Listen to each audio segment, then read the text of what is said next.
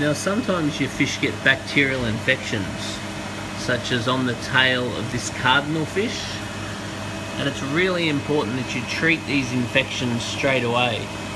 Um, this particular infection I would best treat with a bit of hydrogen peroxide,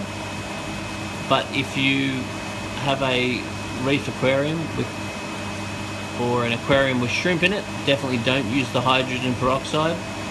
and be very careful with the dose rates because you don't want to cause more trouble in your solve. But there are also various medications on the market such as MelaFix. Marine MelaFix is relatively efficient. But if you do see infections such as this bacterial infection, you really want to come down and see us straight away with a sample of water from your tank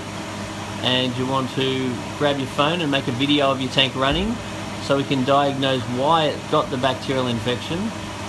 and then you can um, treat it straight away to give the fish the best chance of survival